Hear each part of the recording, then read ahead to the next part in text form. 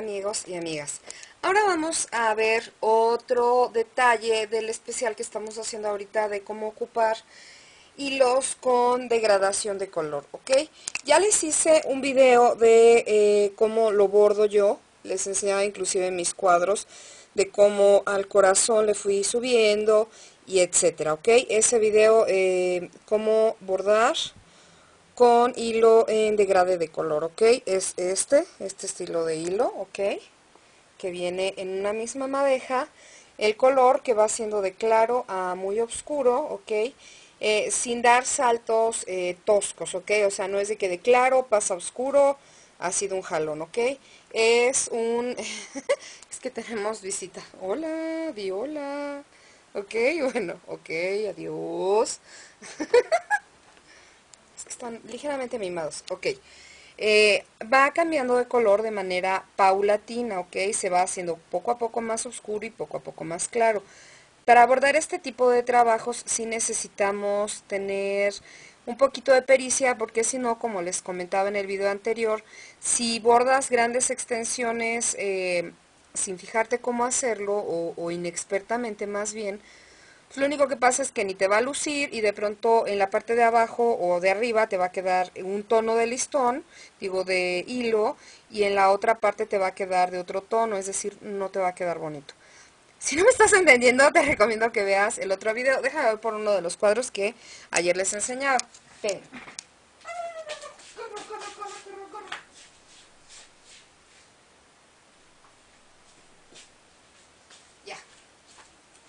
A esto es a lo que me refiero, ¿ok? A que luzca bien el degrade del color de claro a oscuro y que cree efectos bonitos, ¿ok? La verdad sí tiene su grado de complejidad eh, bordarlo. Ya les enseñé cómo bordarlo en superficies grandes. Ahora, lo que les voy a mostrar es cómo bordarlo en, eh, cuando vamos a hacer, por ejemplo, Ah, ah, ah, bueno, no siluetar, pero enmarcar alguna imagen, ¿ok? O queremos hacer el, el, el, el, mira, a lo que me estoy refiriendo ahorita es, por ejemplo, a hacer, por ejemplo, un marco, como este marco azul, que enmarca esta figura, y que tú lo quisieras hacer en degrade de color, pero que luzca así. O sea, que finalmente sí te luzca que el, marco que estás haciendo se va haciendo cada vez más claro y más oscuro. Evidentemente me estoy refiriendo no al marco de la figura, sino al interior, en este caso naranjita y en este caso morado, ¿ok? Bueno, entonces para hacer esta especie de enmarcamiento, porque esto no se le llamaría delinear, sería como enmarcar mi trabajo, ¿ok?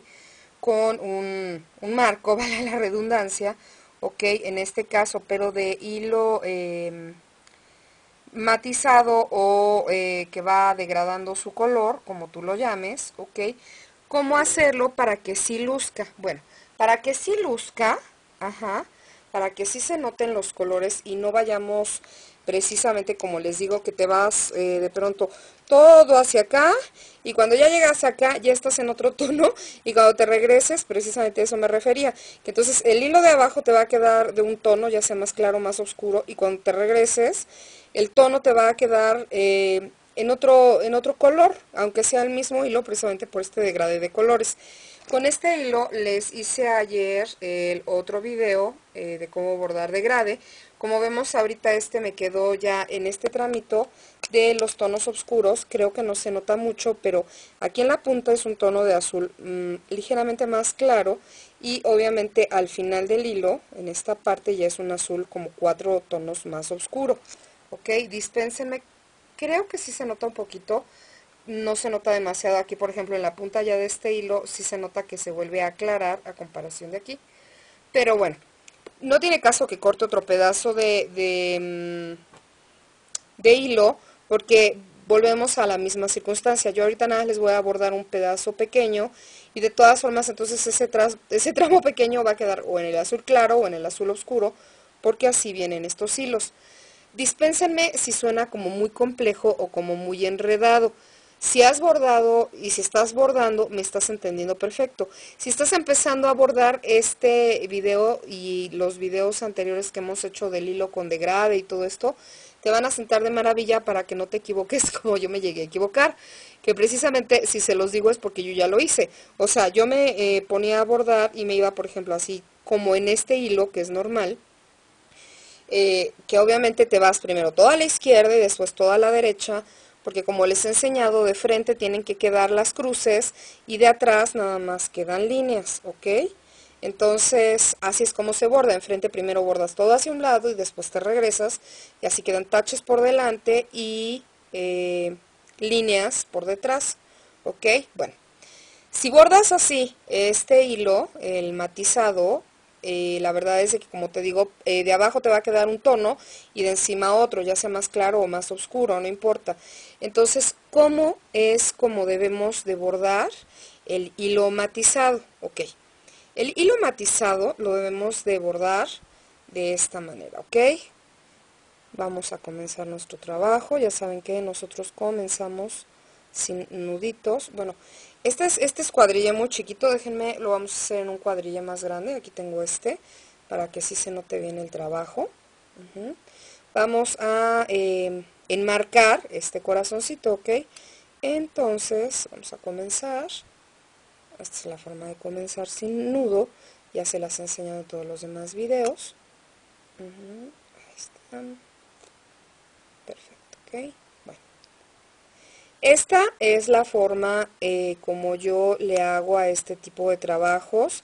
Si tú eres así como que súper experta, por favor no me despedaces. Yo te estoy transmitiendo lo que yo aprendí eh, autodidacta, ¿ok? Esto nadie me lo enseñó.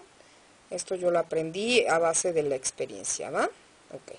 Bueno, ya que ya aseguré mi punto aquí abajo, ok, entonces me voy para arriba. Ajá. Ahí está la primer diagonal. Me regreso, o sea, hago el touch aquí. Ajá, y me subo. Ok, a donde corresponde de arriba. Ok.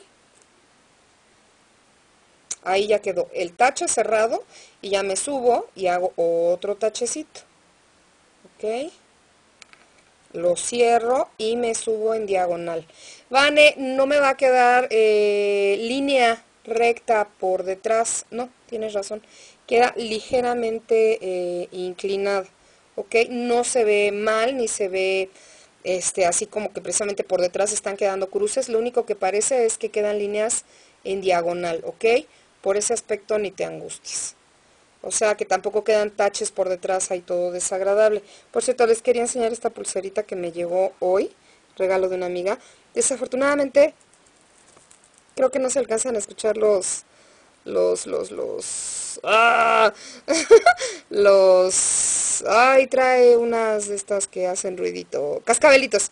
Pero muchas gracias, Anthony, me fascinó mi pulsera.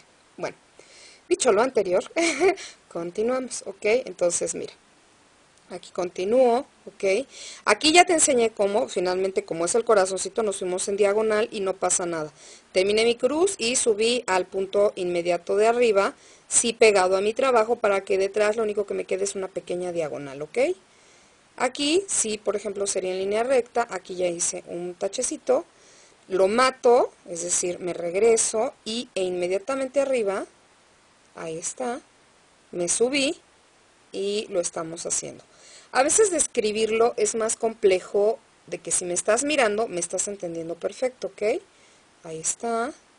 Me voy exactamente arriba. Mira, ahí ya terminé. Ajá. Ahora me voy hacia la derecha.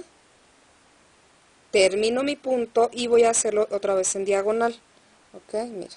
Entré por acá abajo, a la izquierda, y salgo a la derecha, arriba, ¿ok? precisamente para continuar con este patrón. Oye, no te comas los hilos. Miren quién nos está invadiendo. Ahora no es Catofel, ahora es esta niña. Qué barbaridad. Espérenme, la voy a bajar. Mi vida, deja filmar a tu madre. Perdón. ¿Ok? Entonces, así vamos. Ahorita, eh, insisto, creo que la cama no se está notando demasiado, pero este azul es mucho más claro que el azul con el que estamos ya abordando aquí arriba. Ok. Aquí, por ejemplo, ¿cómo le hago, Vane? Porque el que sigue está aquí abajo. Bueno, pues ni modo, nos vamos a tener que ir así, ¿ok? Al orificio inmediato de la derecha, ¿ok? Aquí sí no nos van a quedar líneas exactas, es igual que cuando estás haciendo delineaje o siluetaje, que no, no, no llevamos las líneas tal cual específicas. Al final, como les he dicho, mira, así lo estés bordando para mantel, para cortina o para cuadro, finalmente, la verdad, ¿quién te va a estar viendo tus trabajos por detrás?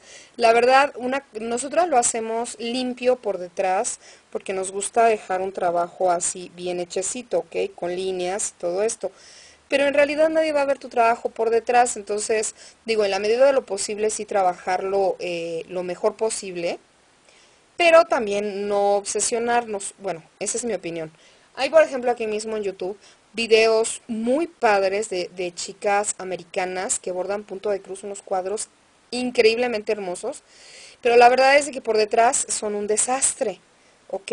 Son, o sea, no respetan que los tachecitos van por delante y líneas por detrás. Y tú puedes decir, ay, pues qué feo que por detrás no se fijen. Mira, sí, por un lado, pues sí, que no estén llevando esa, mm, esa norma, digamos. Pero la verdad es que al final de cuentas, el chiste es que tu cuadro por enfrente, en lo que sí se va a ver, se vea padre, ¿estás de acuerdo? O sea, porque al final, ¿quién va a ver por detrás tus trabajos sin importar para qué lo hiciste?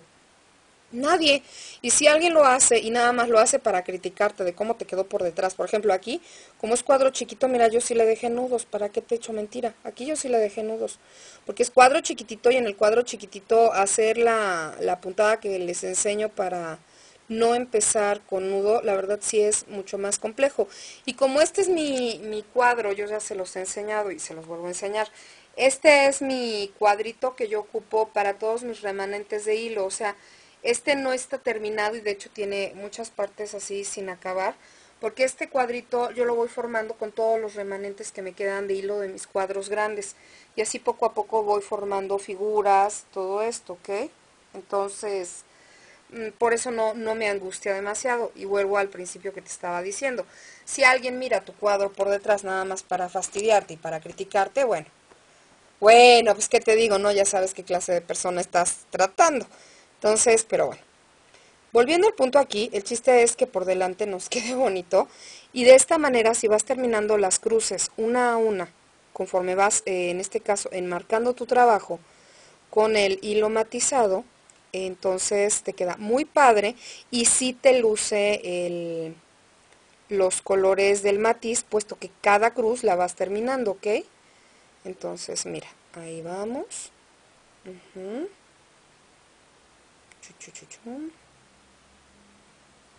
Como vemos estoy terminando cada crucecita. Aquí por ejemplo, bueno, lo volteé de cabeza para que me acomode mejor. Todo, como vemos, lo estoy haciendo exactamente igual. Si me estás mirando y estás bordando junto conmigo, me estás entendiendo perfecto, ¿ok? Mira. Y así es como eh, hacemos un, un enmarcamiento de un trabajo se oyó medio raro, pero ok, así enmarcamos un trabajo, ajá, en este caso en particular, pues con, con hilo em, matizado, ok, mira, espero que se, creo que sí se alcanza a notar, ajá, que por ejemplo, eh, con el hilo con el que empezamos se va haciendo ligeramente más oscuro. Claro, esto es una figura chiquita, evidentemente cuando bordas cosas mucho más grandes, como por ejemplo aquí, pues sí se nota que poco a poco va cambiando del claro al oscuro y del oscuro de nuevo al claro, ¿ok? Entonces así vamos creando el efecto. Así es como lo bordamos. Si yo le quisiera dar otra pasada para que quedara de dos o de tres, quedara mucho más enmarcado, vuelvo a hacer el mismo procedimiento, crucecita por crucecita, crucecita por crucecita, y así el mismo color se va a ir eh, degradando, se va a ir oscureciendo o aclarando, pero eh, sin que precisamente mi hilo de abajo quede de un color y el de encima quede en otro tono, más claro o más oscuro, ¿ok? Espero haberme dado a entender. Eh, lo traté de decir lo más claro posible. Estas cosas, la verdad, gracias a Dios que tenemos video porque son mucho más claras si la estás viendo que con la explicación. La explicación suena como confusa o, muy rara, pero en realidad ya con la explicación y viéndolo creo que sí queda bastante bastante claro, ¿ok? Entonces así enmarcaríamos un trabajo con hilo de degrade, ¿ok? Espero que este video te sirva, que de verdad lo ocupes. Estos hilos de degrade que hay en todos los tonos, yo aquí les saqué estos azules, pero evidentemente hay en amarillo, en naranja, en rosa, en todos los tonos.